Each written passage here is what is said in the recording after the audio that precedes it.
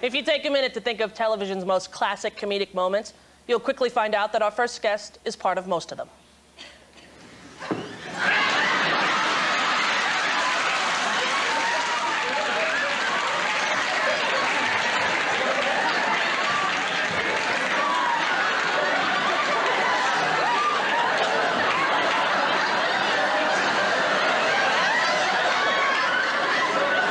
What, uh, what brings you to Tara?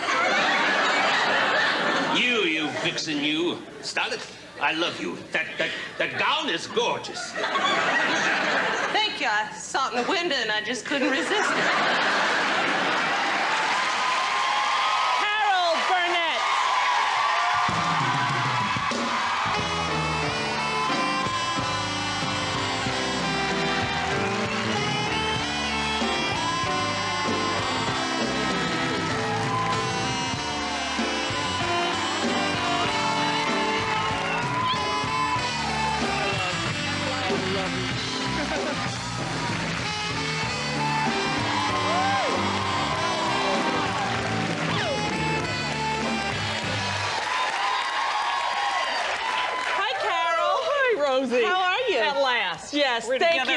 Much for being here. Thank you. Thank you. You know I adore you. Oh, I, it's a, it's mutual. It is mutual. Oh, aren't but you? you know, legendary. I know it's hard for you to get here. You've been busy, you've been touring, you've been everywhere. Yeah, yeah. I've been out. Uh, I just got back from doing seven different cities and doing 90 minutes of questions and answers. Wow. Yeah. Unscripted. Unscripted. People just come in and ask you anything. Yeah, mm-hmm. And you field it all. Yep, I, fe- I and I felt it all too. It was, it was scary. Uh, They had questions about the Carol Burnett show, undoubtedly. Oh yeah, definitely. yeah. What, what were your favorite episodes? Do you have or little skits? Do you have any particular ones that? Well, certainly the Gone with the Wind. That, uh, of course, that was the greatest sight gag we ever did, and that was designed by Bob Mackie. Right. He's the one who came up with that. Our You did all Cher's designer. costumes. Remember with the belly button showing? that was him. Yeah. Yeah, he didn't show mine that much. For which I was grateful. and so was the public.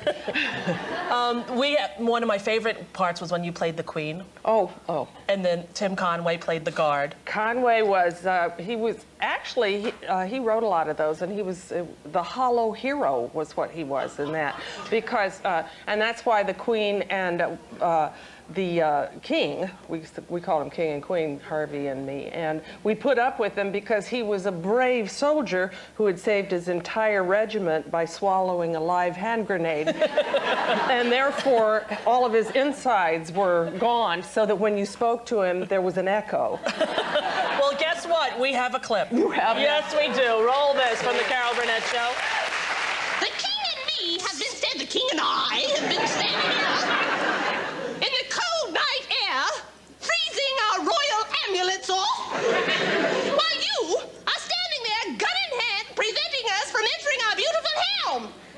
blabbering on and on about, about antelope ice cream and, and goat hoof sherbet. It's antelope sherbet and goat hoof ice cream. Whatever! Now you listen to me, and you better listen good.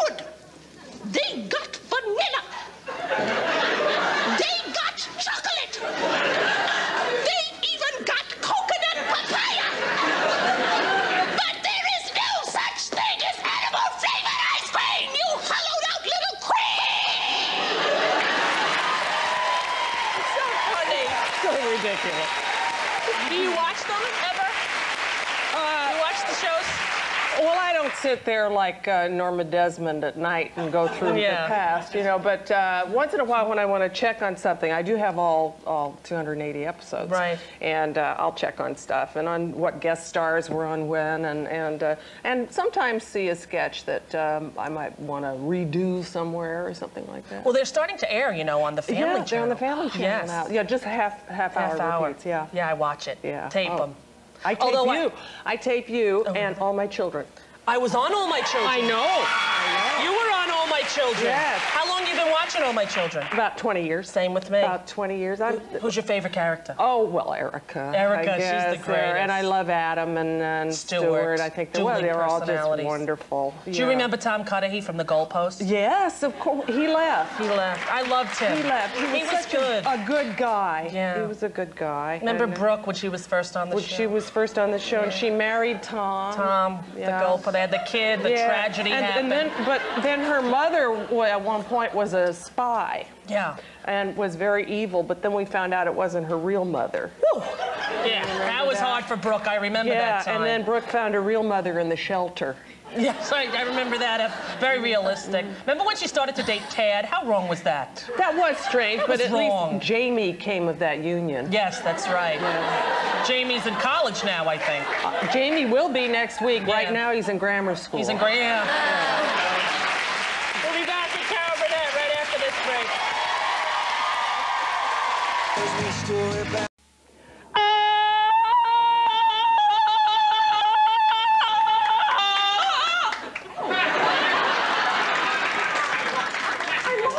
Where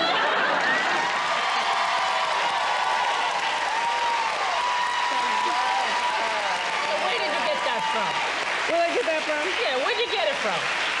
Well, when I was real little, uh, my grandmother and I used to go see about eight movies a week, double features, you know. And uh, so when I'd come home, I would play the characters. And I have a very beautiful cousin, uh, Janice, and we were the same. We are the same age and everything. So when we were little, if I saw a Nelson Eddy and Jeanette MacDonald movie, she got to be Jeanette. No. And so when we saw um, Tarzan, it was either, you know, either I have my choice of being Tarzan or Cheetah. so I chose Tarzan, and, and then I just taught myself the yell. And people ask it every single show. Oh yeah, they do. Do and they still ask it in real life? Yeah, in real life, in real. Yeah, in fact, not too long ago, I I don't do it unless it's a controlled area now. Oh, yeah. Because I have been asked in grocery stores and, you know, on the street. And so once I was at Bergdorf Goodman's here, and, you know, that's kind of a Swanky. Swanky store, and I needed to buy some hose, and I went up, and it was- kind of empty on that floor at that time. And this lovely lady said, "May I help you?" And it's fine. Yes, thank you. I would like some hose. It's like it was you were in church there, you know. and I said, I, "I need some hose." She said, "Oh, all right." And what? We, oh, I know you. And I said, "Well, thank you. What's your name?" So she said, "Would you mind signing some things for my grandchildren?" So I signed about. She had about six grandchildren. So I signed and everything. She said, "Now, and here's your hose." And so I opened up my purse, and I didn't have my right wallet, the correct wallet. I hadn't brought it with me from the hotel. I said, "Oh, I'm so sorry." I said, "But I have my checkbook here from Los Angeles." She said, "Oh, well, I don't know. I'll need some identification." then I said, well, uh, gee, I, you know, I, uh, then I didn't have my driver's license with me, so I thought, what am I going to? She, well, let me see if I can. It's, it's the rules, Miss Burnett. I'm sorry. So she goes across, way across the place, and there is another lady there who's the floor manager, even more elegant, and psh, psh, psh, they're whispering back and forth, and she comes back. She said, Miss Miller will okay your check if you will do the Tarzan yell.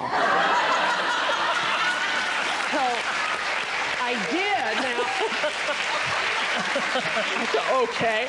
I did the Tarzan yell, and instantly this exit door pushed open, and there was a security guard with a gun. We could have had our heads blown off. You know, he thought somebody was being killed in there. So I don't do it uh, unless uh, people know and it's it's, Yeah. uh, it's this is pretty controlled here. Yeah. You wanted. I don't want to force you or anything. Will you do it with me? Well, maybe at the end, but Maybe you know, I don't think you need help. Okay, okay.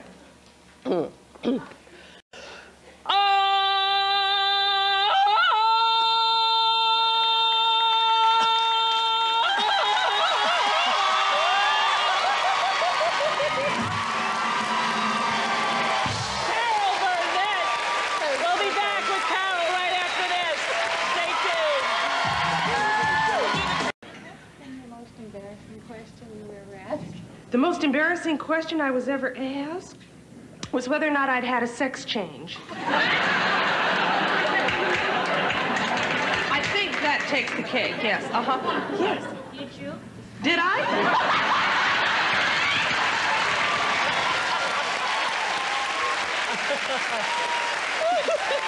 How funny is that?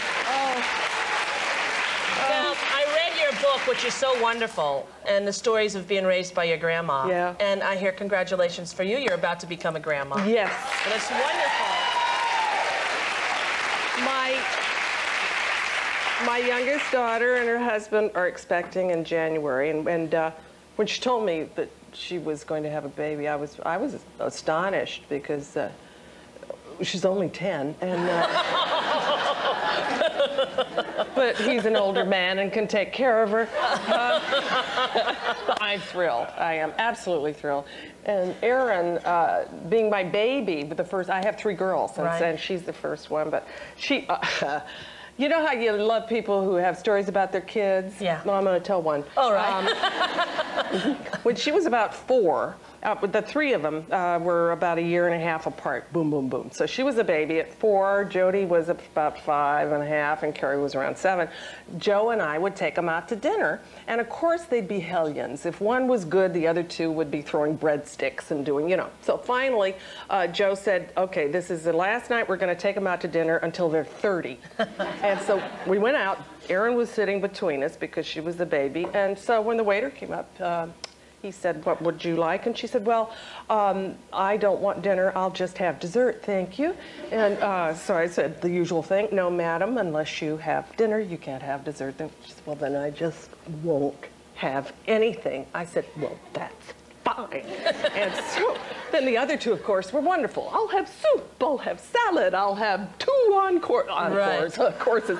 and so then uh, she was sitting there all through the meal, wanting to, I knew it, apologize to me. But she, she just couldn't come out and say, Mom, I'm sorry. She, it just wasn't in her. So we're sitting there through the whole meal. Finally, every time I'd look at her, she'd look away and she'd be looking at me and wanting me to say something. Right. No. Finally, she looked at her father and she said, Daddy. He said, Yes, Erin. She said, I love you very much. and he said, I love you too, Erin. And she said, And I also love your wife. Brilliant at four.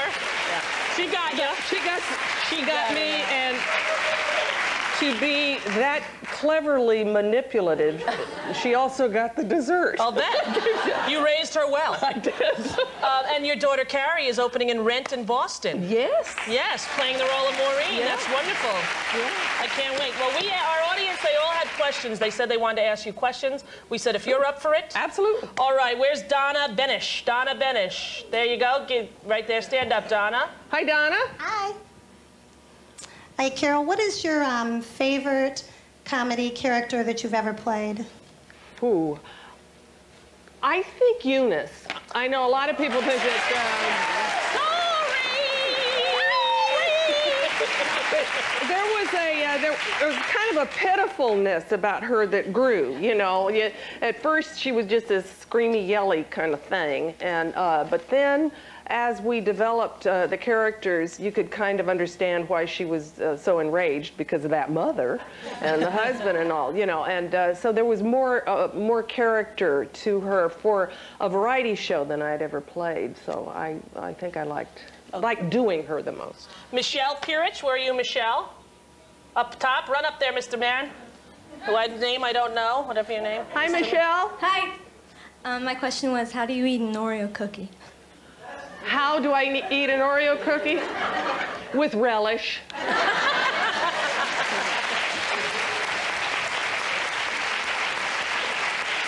Now this woman says her name is Rosie O'Donnell. Where is Rosie O'Donnell? Is that really your name? Oh, oh my goodness. Hello, Rosie O'Donnell. What's your question, bro? When you're at home, what do you usually do around the house? Me? Oh, of course, you're asking me. I'm sorry. not a hell of a lot. I'm, I'm not a cook, but if you ask me over for dinner, you would love to have me there because I not only do the dishes, I'll do the windows. I love to clean. All right, and the last one from Tawny Botch. Tawny Botch, where are you, Tawny? Stand up, Tawn. Hi, Tawny. Hi, how are you? Good. I'd like to hear your theme song from your show. I, I'd love to hear your theme song oh, from your. John, you must know it. Do- I'm so glad we had this time together just to have a laugh or sing a song. Seems we just get started, and before you know